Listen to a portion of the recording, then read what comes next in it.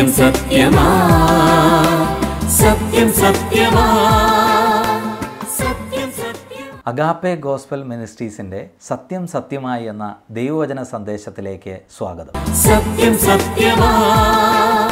എല്ലാവർക്കും വീണ്ടും കർത്താവിന്റെ നാമത്തിലുള്ള സ്നേഹവും വന്ദനവും അറിയിക്കുന്നു. പരിശുദ്ധാത്മാവിനെ കുറിച്ച് നാം ആരംഭിച്ച പഠനം മുന്നോട്ട് കൊണ്ടുപോകാം എന്ന് വിചാരിക്കുന്നു. അതിന് ദൈവകൃപയിൽ ശരണപ്പെടുന്നു. ബലഹീനതയിൽ തികഞ്ഞു വരുന്ന കർത്താവിന്റെ ശക്തിയിൽ തന്നെ ഈ വിഷയം സംബന്ധിച്ച് ആശ്രയം വെക്കുകയാണ്. ദൈവാത്മാവിന്റെ പ്രതീകങ്ങളെക്കുറിച്ചുള്ള സ്റ്റഡിയാണ് കഴിഞ്ഞ ക്ലാസ്സിൽ നമ്മൾ നടത്തിയത്. ആ വിഷയം തന്നെ തുടരാം എന്ന് വിചാരിക്കുകയാണ്. ഇന്ന് അഞ്ചാമതായിട്ട് പറയുന്ന പ്രതീകത്തെക്കുറിച്ചാണ് ഞാൻ പറയുവാൻ ആഗ്രഹിക്കുന്നത്. അത് എണ്ണ അഥവാ ഓയിൽ എന്ന് പറയുന്ന ഒരു പ്രതീകമാണ്. പഴയ നിയമത്തിൽ ദൈവാത്മാവിന്റെ പ്രതീകമായി പലയിടങ്ങളിലും ഈ ആശയത്തെ വെളിപ്പെടുത്തിയിരിക്കുന്നത് നമുക്ക് കാണുവാനായിട്ട് സാധിക്കും. സക്രിയ പ്രവാചകന്റെ പുസ്തകം നാലാം അധ്യായം ഒന്ന് മുതൽ പതിനാല് വരെയുള്ള വേദഭാഗങ്ങളിൽ ദൈവദാസന്മാരായിരിക്കുന്ന സെരിബാബേലിനെയും യോശുവയെയും ദൈവാലയ നിർമ്മാണത്തിൽ ശക്തിപ്പെടുത്തുന്ന പരിശുദ്ധാത്മാവിനെ എണ്ണ ഇട നിഴൽ ഉപയോഗിച്ച് പറയുന്നുണ്ട്. യോശുവ മഹാപുരോഹിതനായിരുന്നു സെരിബാബേലെ ദേശാധിപതിയായിരുന്നു ദാവീദിന്റെ ലൈനിൽ വരുന്ന ആളാണ് സെരിബാബേൽ. അവർ രണ്ടുപേരും കൂടെ ദൈവാലയത്തിന്റെ നിർമ്മാണ പ്രവർത്തനങ്ങൾക്ക് നേതൃത്വം കൊടുക്കുന്ന ദൈവദാസന്മാരാണ്. അപ്പോൾ അവരെ ശക്തിപ്പെടുത്തുവാനായിട്ട് വാസ്തവത്തിൽ ദൈവത്തിന്റെ ശക്തി വളരെ ആവശ്യമാണ്. എങ്കിലാണ് ഇത്ര ബൃഹത്തായിരിക്കുന്ന ഒരു ശുശ്രൂഷ ചെയ്ത് പൂർത്തിയാക്കാനായിട്ട് പറ്റുള്ളൂ. ദൈവത്തിന്റെ വേലയും ശുശ്രൂഷയുമാണ് എന്നതുകൊണ്ട് അതിൽ ചലഞ്ചസ് ഉണ്ടാകില്ല വെല്ലുവിളികൾ ഉണ്ടാകില്ല എന്ന് വിചാരിക്കുന്നത് ഭോഷത്വമാണ്. ധാരാളം വെല്ലുവിളികളുണ്ട്. കാരണം ലോകവും ജഡവും ജാതികളുടെ ലോകവും ഒക്കെ അതിനെതിരാണ്. എന്നാൽ അതിന്റെ മധ്യത്തിൽ ഇത് ചെയ്ത് പൂർത്തിയാക്കുവാനായിട്ട് അളവറ്റ ദൈവശക്തി ആവശ്യമാണ്. ആ ദൈവശക്തി ദൈവത്തിന്റെ പരിശുദ്ധാത്മാവാണ്. ആ ദൈവത്തിന്റെ പരിശുദ്ധാത്മ സാന്നിധ്യം ഇവിടെ വെളിപ്പെടുത്തിയിരിക്കുന്നത് എണ്ണ എന്ന പ്രതീകം ഉപയോഗിച്ചാണ് എന്ന് പറയാനായിട്ട് ഞാൻ താല്പര്യപ്പെടുകയാണ്. പ്രിയമുള്ളവരെ വിളക്ക് തണ്ടിൽ നിന്ന് ഒഴുകുന്ന എണ്ണ ദൈവദാസന്മാരെ തങ്ങളുടെ വേലയിൽ ശക്തിപ്പെടുത്തുന്ന ആത്മസാന്നിധ്യമായിട്ട് നമുക്ക് മനസ്സിലാക്കാനായിട്ട് സാധിക്കും. അപ്പോൾ ഈ സഹോദരന്മാർ ഈ ദൈവദാസന്മാർ ദൈവശക്തി സ്വീകരിച്ച് പ്രാപിച്ചെടുത്ത് ഈ ദൈവവേല ബൃഹത്തായിരിക്കുന്ന വേല ചെയ്ത് മുന്നോട്ട് കൊണ്ടുപോവുകയാണ്. അതിനുള്ള കൃപ ദൈവത്തിന്റെ ആത്മാവ് അവർക്ക് പകർന്നു കൊടുക്കുകയാണ്. അതിനെ വ്യാഖ്യാനിക്കുന്ന മറ്റൊരു വാക്യമാണ് ആറാമത്തെ വാക്യം. ഇതേ അധ്യായം തന്നെ ആറാമത്തെ വാക്യത്തിലേക്ക് വരുമ്പം കൂടുതൽ വിശദമായിരിക്കുന്ന ഒരു വിശദീകരണം വ്യാഖ്യാനം നമുക്കവിടെ കാണുവാനായിട്ട് സാധിക്കും. പ്രസിദ്ധമായിരിക്കുന്ന പ്രസ്താവനയാണ് സൈന്യത്താലല്ല ശക്തിയാലുമല്ല എന്റെ ആത്മാവിനാൽ അത്രേ എന്നും സൈന്യങ്ങളുടെ ഹോവ അരുളി ചെയ്യുന്നു. അപ്പോൾ അവിടെ എന്താ പറയുന്നത്? സെരിബാബേലിനോട് യോശുവോടും പറയുന്നത് സൈന്യത്താലും ശക്തിയാലും ഒന്നും ദൈവവേല ചെയ്ത് പൂർത്തിയാക്കാനായിട്ട് പറ്റില്ല. എന്നാൽ പൂർത്തിയാക്കാനായിട്ട് സാധിക്കും. എങ്ങനെയാണ് അത് പൂർത്തിയാക്കാനായിട്ട് സാധിക്കുന്നത്? ബൈ ഹിസ് സ്പിരിറ്റ് ദൈവത്തിന്റെ പരിശുദ്ധാത്മാവിനാലാണ്. ഇത് പഴയ നിയമകാലത്തും പുതിയ നിയമകാലത്തുള്ള വിശ്വാസികൾക്ക് ദൈവവേല ചെയ്യുന്ന മനുഷ്യർക്കുള്ള വ്യക്തമായിരിക്കുന്ന ഒരു സന്ദേശമാണ്. എങ്ങനെ ഈ വേല ഈ വല്ലാത്ത കാലയളവിൽ ചെയ്ത് മുന്നോട്ട് കൊണ്ടുപോകാൻ പൂർത്തിയാക്കുവാനായിട്ട് സാധിക്കും എന്ന് ചോദിച്ചാൽ ദൈവത്തിന്റെ ആത്മാവിനാലേ അത് സാധിക്കൂ എന്ന തിരിച്ചറിവ് നമ്മുടെ ഉള്ളിൽ ആവശ്യമാണ്. ഒന്ന് ശമുവൽ പത്താം അധ്യായത്തിന്റെ ഒന്നാമത്തെ വാക്യത്തിലും ഇതേ ആശയം എണ്ണ എന്ന പ്രതീകം ഉപയോഗിച്ച് പറയുന്നത് നമുക്ക് കാണാനായിട്ട് സാധിക്കും. ശമുവൽ പ്രവാചകൻ ഷൗലിനെ രാജാവായി വാഴിക്കുന്ന സമയത്ത് തൈലപാത്രം എടുത്ത് അവന്റെ തലയിൽ ഒഴിക്കുന്നുണ്ട്. അങ്ങനെ ഒഴിച്ചാണ് അദ്ദേഹത്തെ രാജാവായിട്ട് അഭിഷേകം ചെയ്യുന്നത്. അത് വാസ്തവത്തിൽ എന്തിന്റെ പ്രതീകമാണ്? ദൈവത്തിന്റെ പരിശുദ്ധാത്മാവ് ശൗലിന്റെ മേൽ വരുന്നു. ഷൗൽ എന്ന് പറയുന്ന ഏതുമില്ലാത്ത ഒരു മനുഷ്യനെ രാജാവായി ഫങ്ഷൻ ചെയ്യുവാൻ തക്കവണ്ണം പരിശുദ്ധാത്മാവ് അവനെ പ്രാപ്തിപ്പെടുത്തും ശക്തിപ്പെടുത്തും എന്നുള്ള ആശയമാണ് ആ എണ്ണ ഇങ്ങനെ പകരുന്നതിലൂടെ ഉദ്ദേശിക്കുന്നത്. അതാണ് അതിന്റെ പ്രതീകാത്മക അർത്ഥം എന്ന് പറയുന്നത്. പത്താം അധ്യായത്തിന്റെ ആറ് അതിനെ ശരിവെക്കുന്നതായിരിക്കുന്ന ആശയമാണ് യഹോവയുടെ ആത്മാവ് ശക്തിയോടെ നിന്റെ മേൽ വന്നിട്ട് ശമുൽ പ്രവാചകൻ ശൗലിനോട് പറയുന്ന കാര്യമാണ് ദൈവത്തിന്റെ ആത്മാവ് നിന്റെ മേൽ എങ്ങനെ വരും? ശക്തിയോടെ വരും. ശക്തിയോടെ വളരെ ബലത്തോടെ വരും. അങ്ങനെ വരുന്ന സമയത്ത് നീ ചെയ്യേണ്ട കാര്യം ചെയ്യണം എന്ന് തന്നെയാണ് വാസ്തവത്തിൽ ശമുവേൽ പ്രവാചകൻ ഷവിലിനെ ഉത്ബോധിപ്പിക്കുന്നത് പ്രബോധിപ്പിക്കുന്നത്. എന്നാൽ ഇങ്ങനെയൊക്കെ ഉണ്ട് എന്ന് പറഞ്ഞാൽ തന്നെയും ദൈവത്തിന്റെ പരിശുദ്ധാത്മാവിന്റെ ശുശ്രൂഷയെക്കുറിച്ചും പ്രവൃത്തികളെക്കുറിച്ചുമൊക്കെ കൂടുതൽ വിശദമായിരിക്കുന്ന വെളിപ്പാടുകൾ നമുക്ക് കാണാനായിട്ട് സാധിക്കുന്നത് പുതിയ നിയമത്തിലാണ്. പുതിയ നിയമം വിശദമായി പഠിക്കണം. അങ്ങനെ പഠിക്കുന്ന സമയത്ത് ദൈവാത്മാവിന്റെ ശുശ്രൂഷയെക്കുറിച്ച് നമുക്ക് വലിയ സത്യങ്ങൾ മനസ്സിലാക്കുവാനും അതിൽ സന്തോഷിക്കുവാനും ധൈര്യപ്പെടുവാനുമായിട്ട് സാധിക്കും. നമ്മുടെ വേലയുടെ ശക്തി എന്ന് പറയുന്നത് ഞാനല്ല എന്ന് നമുക്ക് മനസ്സിലാക്കാൻ പറ്റും. നമ്മുടെ പിൻപിൽ നിൽക്കുന്ന അനേക മനുഷ്യരോ മുമ്പിൽ പോകുന്ന അനേക മനുഷ്യരോ അല്ലെങ്കിൽ ഒരു സംഘടനയോ അല്ലെങ്കിൽ ഒരു പ്രസ്ഥാനമൊന്നും അല്ല നമ്മുടെ പ്രധാനപ്പെട്ട ശക്തി. നമ്മുടെ ശക്തി എന്ന് പറയുന്നത് ദൈവത്തിന്റെ പരിശുദ്ധാത്മാവാണ്. ആറാമത് ഉപയോഗിച്ചിരിക്കുന്ന പ്രതീകം മുദ്ര സീൽ എന്ന കാര്യം ആണ് കൊരിന്തർക്ക് എഴുതിയ രണ്ടാം ലേഖനം ഒന്നാം അധ്യായം ഇരുപത്തിരണ്ടാമത്തെ വാക്യത്തിൽ ഇങ്ങനെ വായിക്കാം. അവൻ നമ്മെ മുദ്രയിട്ടും ഇല്ലേ? വിശ്വാസികളെക്കുറിച്ച് പറയുന്നത് വിശ്വാസികളെ സ്വർഗത്തിലെ ദൈവം മുദ്രയിട്ടിരിക്കുന്നു സീൽഡ് ദം. അവരുടെ മേൽ ഒരു മുദ്രയുണ്ട് എന്ന കാര്യമാണ്. എഫ് എസ് ലേൻ ഒന്നാം അധ്യായത്തിന്റെ പതിമൂന്ന് പതി പരിശുദ്ധാത്മാവിനാൽ മുദ്രയിട്ടിരിക്കുന്നു. ഇനി മുദ്ര ഇടാനൊന്നും പോകുന്നില്ല. മുദ്ര നമ്മൾ പ്രാപിച്ചെടുക്കണമെന്നുള്ള കൽപ്പനയില്ല. മുദ്ര പ്രാപിക്കാനായിട്ടുള്ള ഒരു പരിപാടിയും വിശ്വാസികൾ ചെയ്യേണ്ട ആവശ്യമില്ല. അവർ യേശുക്രിസ്തുവിനെ രക്ഷിതാവും നാഥനുമായിട്ട് സ്വീകരിക്കുന്ന സമയത്ത് ദൈവം അവരെ മുദ്രയിട്ടിരിക്കുന്നു എന്ന സന്ദേശം അവരോട് പറഞ്ഞു കൊടുത്ത് അവരെ പഠിപ്പിച്ചാൽ ധാരാളം മതിയാകുന്നതാണ്. അടുത്ത വാക്യം നാലാം അധ്യായം എഫ് എസ് ലേഖനം തന്നെ നാലാം അധ്യായത്തിന്റെ മുപ്പതാമത്തെ വാക്യത്തിൽ എന്തു പറയുന്നു? ദൈവത്തിന്റെ പരിശുദ്ധാത്മാവിനെ ദുഃഖിപ്പിക്കരുത്. അവനാലല്ലോ നിങ്ങൾക്ക് വീണ്ടെടുപ്പ് നാളിനായി മുദ്രയിട്ടിരിക്കുന്നത്. അത് പരിശുദ്ധാത്മാവിനെ ദുഃഖിപ്പിക്കരുത് എന്ന് പറയാനുള്ള ഒരു പ്രധാനപ്പെട്ട റീസൺ എന്നത് അവനാലാണ് ദൈവം നമ്മെ മുദ്രയിട്ടിരിക്കുന്നത്. ദൈവത്തിന്റെ പരിശുദ്ധാത്മാവ് തന്നെയാണ് നമ്മുടെ മുദ്ര എന്ന ആശയം വളരെ ക്ലിയറായിട്ട് പുതിയ നിയമ എഴുത്തുകാർ കമ്മ്യൂണിക്കേറ്റ് ചെയ്യുന്നുണ്ട്. പ്രിയമുള്ളവരെ ഈ മുദ്ര നമുക്ക് ദൈവം തന്നിരിക്കുന്നു എന്നതിൽ നമുക്ക് സന്തോഷിക്കാനായിട്ട് സാധിക്കും. ദൈവത്തെ മഹത്വപ്പെടുത്താൻ ദൈവത്തെ ആരാധിക്കാനായിട്ട് സാധിക്കും.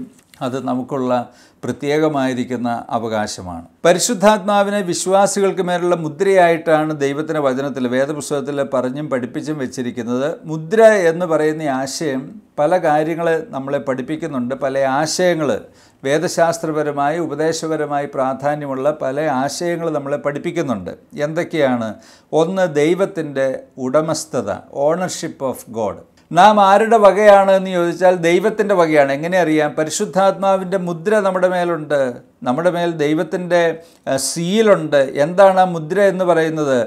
ആ മുദ്ര എന്ന് പറയുന്നത് അച്ചുകൂടം കൊണ്ട് സൃഷ്ടിച്ചെടുക്കുന്ന മുദ്രയല്ല പരിശുദ്ധാത്മാവിനെ നമ്മുടെ ഹൃദയങ്ങളിൽ പകർന്ന് സൃഷ്ടിച്ചെടുത്തിരിക്കുന്ന മുദ്രയാണ്. അതിനേക്കാൾ വലിയൊരു മുദ്ര നമുക്ക് ഏൽക്കാനായിട്ടുണ്ടോ പ്രിയമുള്ളവരെ. വെളിപ്പാട് പുസ്തകത്തിൽ പറയുന്ന പോലെ നാം മൃഗത്തിന്റെ മുദ്ര ഏൽക്കാൻ പോകുന്ന ആളുകളല്ല. അത് നാം അറിഞ്ഞിരിക്കുന്നത് നല്ലതാണ്. ഈ ഒരു ഡിസ്പെൻസേഷന്റെ അവസാനമാകുന്ന സമയത്ത് ഒരു വലിയ മഹോപദ്രവം വരാനായിട്ട് പോകുന്നു. അന്ന് എതിർ ക്രിസ്തുവിന്റെ ആളുകൾ അവന്റെ മുദ്ര ഏൽക്കും എന്ന് വെളിപ്പാട് പുസ്തകം വളരെ ക്ലിയറായിട്ട് പറയുന്നുണ്ട്. ആർക്കും നിഷേധിക്കാനായിട്ട് പറ്റുന്ന കാര്യമല്ല.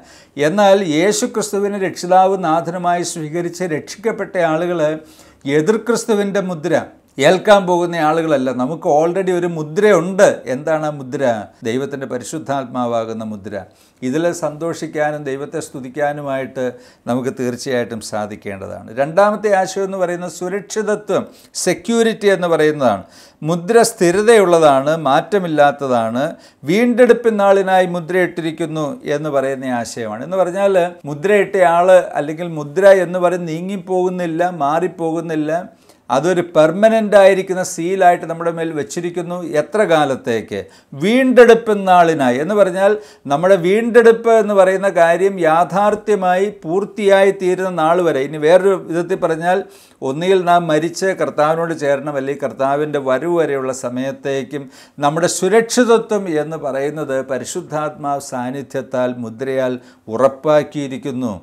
ഇതിനേക്കാൾ വലിയൊരു സെക്യൂരിറ്റി വിശ്വാസികൾക്ക് ആവശ്യമുണ്ടോ? ഇതിനേക്കാൾ വലിയൊരു സെക്യൂരിറ്റി നമുക്ക് എവിടുന്ന് പ്രാപിച്ചെടുക്കാനായിട്ട് സാധിക്കും? ഇസഡ് കാറ്റഗറിയിലോ വൈ കാറ്റഗറിയിലോ ഒക്കെ ഉള്ള സുരക്ഷാ പരിപാടികളൊക്കെ ഉണ്ട്. അതൊന്നും ഇതിനോളം വരില്ല. എന്ന് പറഞ്ഞാൽ ദൈവത്തിന്റെ ആ ഒരു സുരക്ഷിതമായിരിക്കുന്ന കരങ്ങൾക്ക് കീഴെ ആയിരിക്കുന്നത് പോലെ സുരക്ഷിതമല്ല എന്റെ പ്രിയമുള്ളവരെ ഒരു സൈന്യത്തിന്റെയും സാന്നിധ്യം.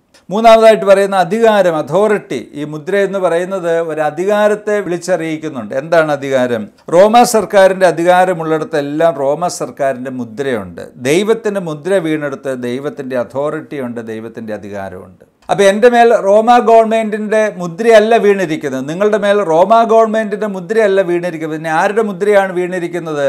ദൈവത്തിന്റെ പരിശുദ്ധാത്മാവെന്ന മുദ്രയാണ്. ദൈവത്തിന്റെ മുദ്രയാണ് നമ്മുടെ മേൽ വീണിരിക്കുന്നത് എങ്കിൽ നാം ദൈവത്തിന്റെ അധികാരത്തിന്റെ കീഴെയുള്ള ആളുകളാണ് എന്ന് അതിനാൽ നമുക്ക് പറയാനായിട്ട് വാസ്തവത്തിൽ സാധിക്കും.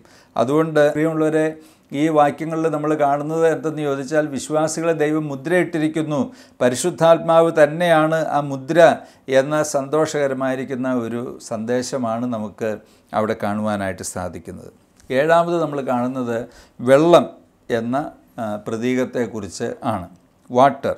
കൂടാര പെരുന്നാളിന്റെ അവസാന ദിവസം ജനങ്ങളോടായിട്ട് നമ്മുടെ കർത്താവായ യേശുക്രിസ്തു പറയുന്ന ഒരു സന്ദേശമുണ്ട്. യോഹനാന സുവിശേഷം ഏഴാം അധ്യായത്തിന്റെ മുപ്പത്തിയേഴ് മുതൽ മുപ്പത്തിയൊൻപത് വരെയുള്ള വാക്യങ്ങൾ. അതിൽ പ്രസക്തമായിരിക്കുന്ന ഭാഗങ്ങൾ ഞാൻ വായിച്ച് കേൾപ്പിക്കാം. ദാഹിക്കുന്നവനെല്ലാം എന്റെ അടുക്കൽ വന്ന് കുടിക്കട്ടെ. എന്നിൽ വിശ്വസിക്കുന്നവന്റെ ഉള്ളിൽ നിന്ന് തിരുവഴുത്ത് പറയുന്നത് പോലെ ജീവജലത്തിന് നദികൾ ഒഴുകും എന്ന് വിളിച്ച് പറഞ്ഞു. അവൻ ഇത് തന്നിൽ വിശ്വസിക്കുന്നവർക്ക് ലഭിക്കാനുള്ള ആത്മാവിനെ കുറിച്ചാകുന്നു പറഞ്ഞത്. പ്രിയമുള്ളവരെ കർത്താവ് ഇവിടെ ജനക്കൂട്ടത്തെ അഡ്രസ്സ് ചെയ്തുകൊണ്ട് പറയുന്ന ഒരു വലിയ സന്ദേശമുണ്ട്. ദാഹിക്കുന്നവനെല്ലാം എന്റെ അടുക്കൽ വന്ന് കുടിക്കട്ടെ.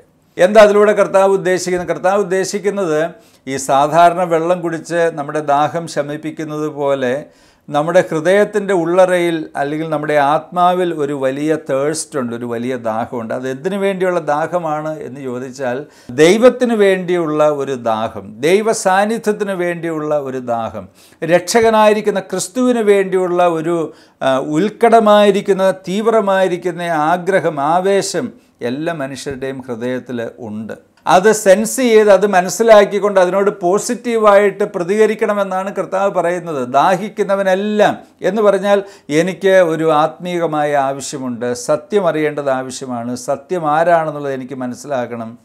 സത്യദൈവം ആരാണ്? യഥാർത്ഥ രക്ഷ എന്താണ്? ആരാണ്? എന്ന കാര്യം എനിക്ക് അറിയണം എന്ന് മനസ്സിലാക്കുന്ന താല്പര്യപ്പെടുന്ന അതിനുവേണ്ടി വാഞ്ചിക്കുന്ന മനുഷ്യർ ലെറ്റ് ഹിം കം ഫോർവേഡ് അവൻ മുന്നോട്ട് വരട്ടെ എന്നാണ് കർത്താവ് പറയുന്നത്. വന്ന് കുടിക്കട്ടെ. വന്ന് കുടിക്കട്ടെ എന്നൊക്കെ പറയുമ്പം യേശു ക്രിസ്തുവിനെ ഒരു ഗ്ലാസ്സിലേക്ക് ഒഴിച്ച് കുടിക്കാൻ പറ്റില്ലെന്നൊക്കെ അറിയാം. അപ്പോൾ എന്താ പറയുന്നത്? വന്ന് കുടിക്കട്ടെ എന്ന് പറഞ്ഞാൽ കർത്താവാകുന്ന യേശു ക്രിസ്തുവിനെ അവന്റെ വ്യക്തിത്വത്തെ സ്വീകരിക്കുക എന്നാണ് അതിലൂടെ പറയുന്നത്. എന്ന് പറഞ്ഞാൽ ക്രിസ്തുവുമായിട്ടൊരു ബന്ധത്തിലേക്ക് വരിക.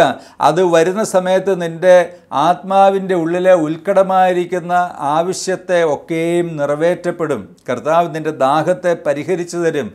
നിന്റെ നീടിനെ കർത്താവ് പൂർണമായിട്ട് നിറവേറ്റിത്തരും എന്ന സുവ്യക്തമായിരിക്കുന്ന ആശയം കർത്താവ് ഇവിടെ പറയുന്നത് നമുക്ക് കാണുവാനായിട്ട് സാധിക്കും. എന്നിട്ട് എന്താ പറയുന്നത്? വിശ്വസിക്കുന്നവന്റെ ഉള്ളിൽ നിന്ന്. അപ്പോൾ കുടിക്കുക എന്ന് പറഞ്ഞാൽ അതിന്റെ അർത്ഥം വിശ്വസിക്കുക എന്നാണ് ഇവിടെ. യേശുക്രിസ്തു എന്ന വ്യക്തിയെ വിശ്വസിക്കുക. അങ്ങനെ വിശ്വസിക്കുന്ന ആളുകളെ കുറിച്ച് പറയുന്നത് വിശ്വസിക്കുന്നവന്റെ ഉള്ളിൽ നിന്ന് ജീവജലത്തിന്റെ നദികൾ ഒഴുകും.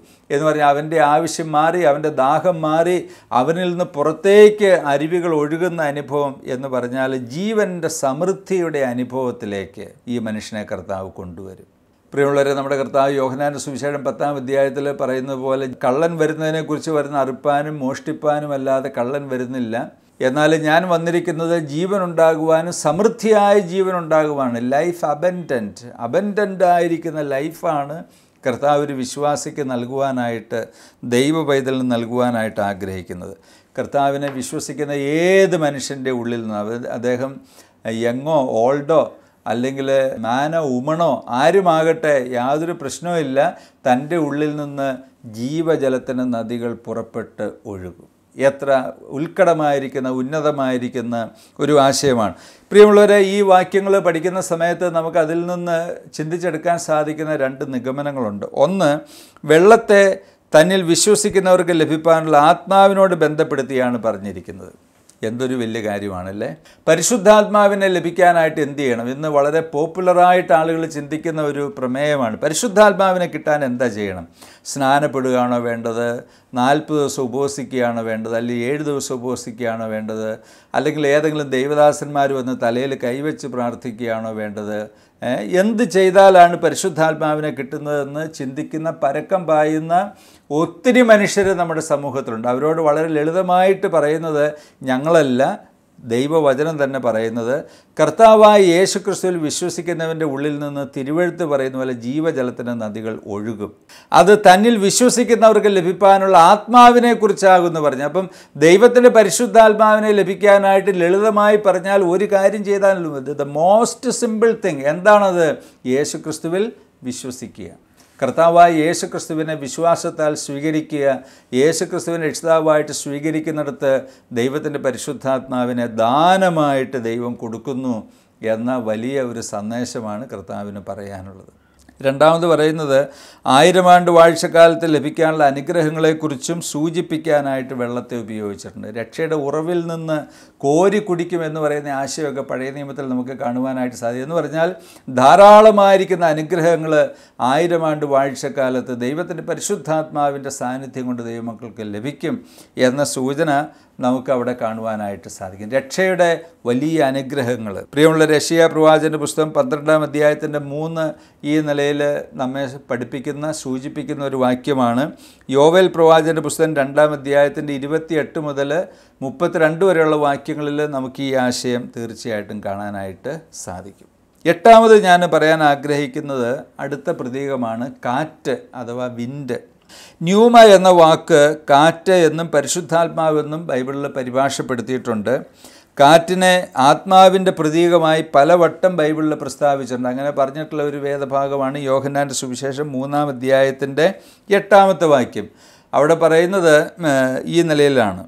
ആത്മാവിന്റെ ജന്നത്തെ കാറ്റിനോട് ഉപമിച്ച് പറയുന്നതായിരിക്കുന്ന ഒരു ഒരു വാക്യമാണ് അത്. ദൈവാത്മാവ് തന്റെ പ്രവർത്തനങ്ങളിൽ സർവാധികാരമുള്ളവനാണ്. ആത്മാവ് താൻ ഇച്ഛിക്കും പോലെ പ്രവർത്തിക്കും എന്നാണ് ദൈവത്തിന്റെ വചനത്തിൽ പറയുന്നത്. പ്രിയമുള്ളവരെ യോഹനാന്റെ സുവിശേഷം മൂന്നാം അധ്യായം എന്ന് പറയുന്നത് പുതിയ ജനനത്തെക്കുറിച്ച് പറയുകയും പഠിപ്പിക്കുകയും ചെയ്യുന്ന ഒരു വേദഭാഗമാണ്. ജഡത്തിൽ നിന്ന് ജനിച്ചത് ജഡമാകുന്നു.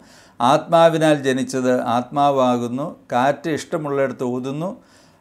അതിന്റെ മറ്റ് കാര്യങ്ങളെക്കുറിച്ച് അറിയുന്നില്ല. കാറ്റ് എവിടെ നിന്ന് വരുന്നു എവിടേക്ക് പോകുന്നു എന്ന് അറിയുന്നില്ല. അതുമായിട്ട് ബന്ധിപ്പിച്ച് പരിശുദ്ധാത്മാവിനെ കുറിച്ച് പറയുകയാണ്. എന്ന് പറഞ്ഞാൽ എന്താ ഉദ്ദേശിക്കുന്നത്? പരിശുദ്ധാത്മാവിന്റെ പ്രവർത്തനങ്ങളിൽ എപ്പോഴും ഒരു സോവറിന്റി ഉണ്ട് ഒരു സർവാധികാരമുണ്ട്. താൻ ഉദ്ദേശിക്കുന്ന മനുഷ്യരുടെ ജീവിതത്തിൽ ഉദ്ദേശിക്കുന്ന സമയത്ത് ഉദ്ദേശിക്കുന്ന വിധത്തിൽ ഇടപെടുന്നവനാണ്. കുരിന്തർക്ക് എഴുതിയ ഒന്നാം ലേഖനം പന്ത്രണ്ടാം അധ്യായത്തിന്റെ പതിനൊന്നാമത്തെ വാക്യം ആ ആശയത്തെ പറയുന്നുണ്ട്. ആത്മാവ് ഇച്ഛിക്കും പോലെ എന്നാണ് പറയുന്നത്. ഒരു മനുഷ്യന്റെ ജീവിതത്തിൽ എങ്ങനെയാണ് ഇടപെടേണ്ടത് എങ്ങനെയാണ് സംസാരിക്കേണ്ടത് എന്നുള്ളതിനെക്കുറിച്ച് പരിശുദ്ധാത്മാവിന് ഒരു സോവറിൻ പ്ലാനുണ്ട്. അത് നമ്മളോട് ആലോചിക്കുന്നതല്ല. സുവിശേഷം പറയുന്ന സുവിശേഷകന്മാരോട് അതിനെക്കുറിച്ച് ആലോചിക്കുന്നില്ല. ആരോടും ആലോചിക്കുന്നില്ല. ആരോടും ആലോചിക്കാതെ ദൈവത്തിന്റെ പദ്ധതിയിലുള്ള മുന്നിയമിച്ചിരിക്കുന്നതായിരിക്കുന്ന ആളുകളുടെ ജീവിതത്തിൽ പരിശുദ്ധാത്മാവ് താൻ ഇച്ഛിക്കും പോലെ പ്രവർത്തിക്കുന്നു എന്ന് നമുക്ക് അവിടെ കാണുവാനായിട്ട് സാധിക്കും. പ്രവർത്തിച്ച് എന്ത് സംഭവിക്കുന്നു?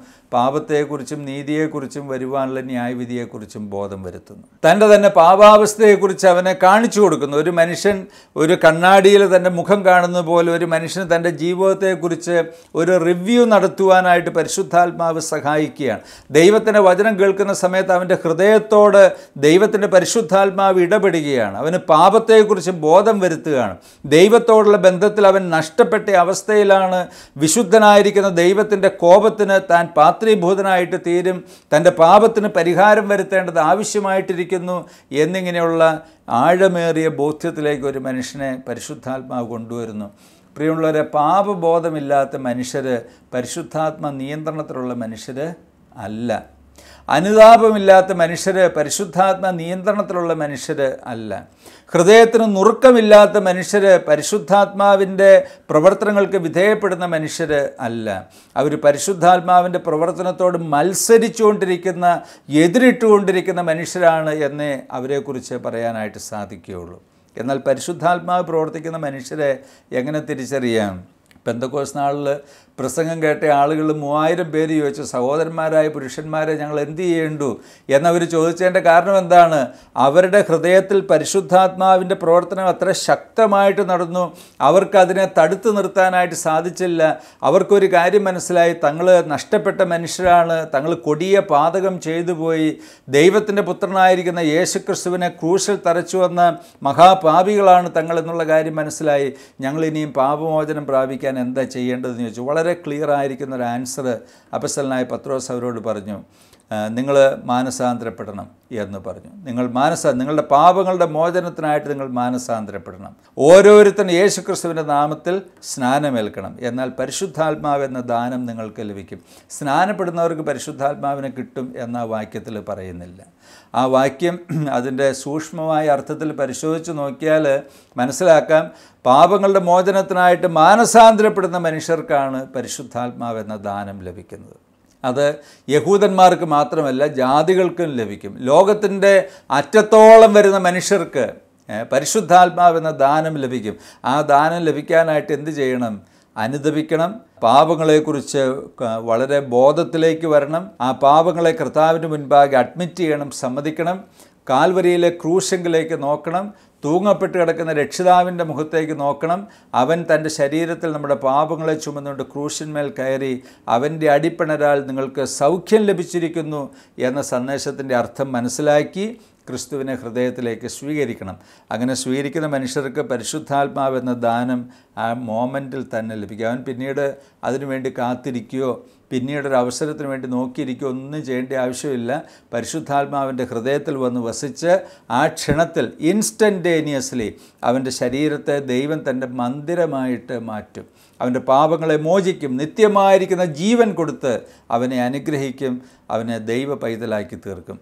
എത്ര അനുഗ്രഹീതമായിരിക്കുന്ന ശുശ്രൂഷയാണ് പരിശുദ്ധാത്മാവ് ഒരു വ്യക്തിയുടെ ജീവിതത്തിൽ ചെയ്യുന്നത്. പ്രിയമുള്ളവരെ ദൈവത്തിന്റെ പരിശുദ്ധാത്മാവിനെ ഒഴിവാക്കിക്കൊണ്ട് ക്രിസ്തീയ ജീവിതം അസാധ്യമാണ്. അസാധ്യമാണ്. പരിശുദ്ധാത്മാവിന്റെ നിയന്ത്രണത്തിൽ ജീവിച്ചുകൊണ്ടല്ലാതെ ക്രിസ്തീയ ജീവിതം അസാധ്യമാണ്. പരിശുദ്ധാത്മാവിനെ കൂടാതെ ആർക്കും യേശുവിനെ കർത്താവാണ് എന്ന് പറയുവാനായിട്ട് സാധിക്കില്ല. എന്ന് പറഞ്ഞാൽ in a meaningful way അർത്ഥവത്തായ നിലയിൽ ഞാൻ ആരാണ് കർത്താവ് ആരാണെന്നൊക്കെ മനസ്സിലാക്കി യേശു ക്രിസ്തു ഇന്നു മുതൽ എന്റെ കർത്താവാണ് എന്ന് ഒരു മനുഷ്യന് പറയാൻ പറ്റണമെങ്കിൽ അത് പരിശുദ്ധാത്മ പ്രവൃത്തിയുടെ ഒരു പ്രത്യക്ഷ ഫലമായിട്ട് വേണം മനസ്സിലാക്കുവാൻ. സർവശക്തനായിരിക്കുന്ന ദൈവം വചനം കേട്ട എല്ലാവരെയും അനുഗ്രഹിക്കുകയും ആശീർവദിക്കുകയും ചെയ്യട്ടെ എന്ന് പ്രാർത്ഥിക്കുന്നു. ഈ പ്രോഗ്രാം നിങ്ങൾക്ക് അനുഗ്രഹമായി എന്ന് ഞങ്ങൾ വിചാരിക്കുന്നു. നിങ്ങളുടെ വിലപ്പെട്ട അഭിപ്രായങ്ങളും നിർദ്ദേശങ്ങളും പ്രാർത്ഥനാവശ്യങ്ങളും ഞങ്ങളെ അറിയിക്കുക. ഞങ്ങൾ നിങ്ങൾക്ക് വേണ്ടി പ്രാർത്ഥിക്കുന്നതാണ്. ഞങ്ങളുമായി ബന്ധപ്പെടേണ്ട വിലാസം Agape gospel ministry eighty seven Maithri Nagar Asramam Kollam. Phone number eight one three six nine three six six four eight. Email I D സത്യം സത്യമായി at Gmail dot com Bible സംബന്ധമായ നിങ്ങളുടെ സംശയങ്ങളും ചോദ്യങ്ങളും ഞങ്ങളുടെ വാട്സാപ്പ് നമ്പറിലൂടെ ഞങ്ങളെ അറിയിക്കുക. ഞങ്ങൾ അതിനുള്ള ഉത്തരം നിങ്ങൾക്ക് നൽകുന്നതാണ്. അതോടൊപ്പം ഈ പ്രോഗ്രാമിലെ മറ്റ് സന്ദേശങ്ങളും പാട്ടുകളും ഒരിക്കൽ കൂടെ കേൾക്കുവാനായി സത്യം സത്യമായി എന്ന യൂട്യൂബ് ചാനലും സത്യം സത്യമായി എന്ന ഫേസ്ബുക്ക് പേജും സന്ദർശിച്ചാലും ദൈവം നമ്മെല്ലാവരെയും ധാരാളമായിട്ട് അനുഗ്രഹിക്കട്ടെ. വചനം മഴയായി പെയ്തിറങ്ങും. സത്യം മലരായി ഇതവിടത്തും സത്യം സത്യമാ സത്യം സത്യമാ സത്യം സത്യമാ.